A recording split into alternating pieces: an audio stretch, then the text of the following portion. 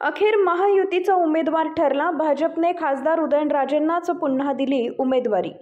लोकसभेच्या निवडणुका अवघ्या काही दिवसांवर येऊन ठेपल्या असताना देखील सातारा लोकसभा महायुतीचा उमेदवार कोण असणार याबद्दल अनेक शंका कुशंका घेतल्या जात होत्या. मात्र अखेर भाजपच्या चिन्हावर खासदार उदयनराजे भोसले हेच सातारा लोकसभेची निवडणूक लढतील असं आता महायुतीच्या वतीने जाहीर करण्यात आलंय.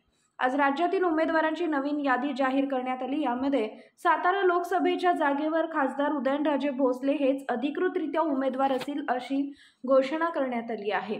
त्यामुळे गेल्या अनेक दिवसांपासून सर्वच सातारकरांना लागलेली प्रतीक्षा अखेर संपली आहे. ब्युरो रिपोर्ट तेज मराठी न्यूज. आम्ही सगळे टाळ्या समोरचा जो असेल ना तो विचार करता की आपण कमी बोललं पाहिजे. म्हणून कमी बोलतो. असंच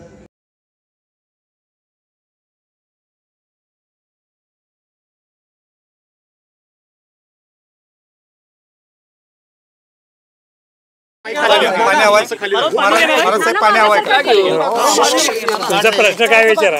आज आज आपण महाराज काय सांगाल? आज आज आपण उमेदवारी अर्ज भरलाय हा.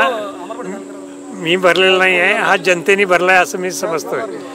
आणि जे काय दिसलं आपलं तो जनतेमुळे दिसलं सगळं. खरं तर ग्रामीण भागातूनही मोठ्या प्रमाणात जनता आलेली होती.